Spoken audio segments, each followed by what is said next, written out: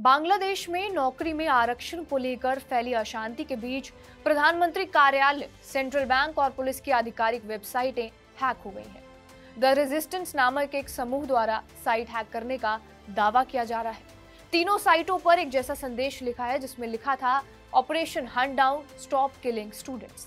संदेश में आगे लिखा गया, हमारे बहादुर छात्रों के शांतिपूर्ण विरोध को सरकार और उसके राजनीतिक साथियों द्वारा क्रूर हिंसा और हत्या का सामना करना पड़ा।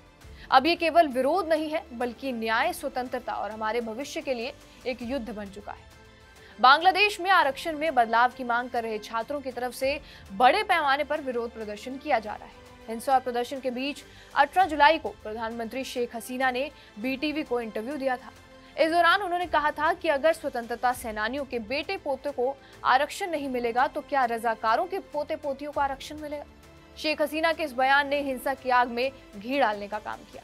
सैकड़ों प्रदर्शनकारी बीटीवी ऑफ़िस के कैंपस में घुस गए और 60 से ज़्यादा गाड़ियाँ फूट डाली। 19 जुलाई को प्रदर्शनकारी छात्रों ने नरसिंगड़ी ज़िले में एक जेल पर धावा बोला था। सैकड़ों कैदियों को जेल से छुड़ाने के बाद वहाँ आग लगा दी गई।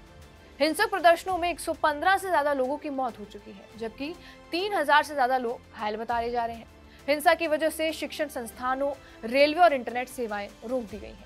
प्रधानमंत्री शेख हसीना की तरफ़ से छात्रों के इस विरोध प्रदर्शन और हिंसा पर लगाम लगाने के लिए सेना को भी तैनात किया गया है। इतना ही नहीं, किसी भी प्रदर्शनकारी को देखते ही गोली मारने के आदेश भी जारी किए गए हैं। तमाम सरकारी कार्यालयों और ढाका यूनिवर्सिटीज को बंद रखने के निर्देश दिए हैं। छात्रों को हॉस्टल खाली करने के आदेश भी जारी हुए थे और सड़कों पर सेना तैनात है। ढाका समेत कई जिलों में आंशिक कर्फ्यू लागू है। लेकिन ये पहली बार नहीं है जब बांग्लादेश में आरक्षण को लेकर विरोध प्रदर्शन किया जा रहा है। इससे पहले भी साल 2018 में आरक्षण को लेकर विरोध प्रदर्शन के साथ हिंसा हुई थी, जिसके बाद सरकार ने बड़ा फैसला लेते हुए उच्च श्रेणी की नौकरियों में आरक्षण को रद्द कर दिया था और इसके बाद हालात सामान्य हो गए थे। लेकिन इस साल पिछले महीने, यानी कि जून की पाँच तारीख को, बांग्लादेश हाईकोर्ट ने आरक्षण को लेकर दायर एक याचिका पर फैसला सुनाया। हाईकोर्ट ने सरकार के फैसले को रद्द करते हुए फिर से आरक्षण देने का आदेश दिया। कोर्ट के इस फैसले के खिलाफ एक जुलाई से ढाका समेत कई जिलों में प्रदर्शन शुरू हुए। छात्रों ने सरकारी नौकरियों में बांग्लादेश मुक्ति संग्राम के सगे संबंधियों की आरक्षण रद्द करने की मांग कर डाली। बांग्लादेश में स्वतंत्रता सेनानी यानी मुक्ति योद्धा के बच्चों और पोते पोतियों को जो 30 फ़ीसदी आरक्षण दिया जाता है, उसे घटाकर 10 फ़ीसदी करने की मांग की जा रही है। हालाँकि पिछले दिनों बांग्लादेश के सुप्रीम कोर्ट ने इस पर बड़ा फैसला सुनाया और कोर्ट ने सरकारी नौकरियों में आरक्षण को घटा दिया।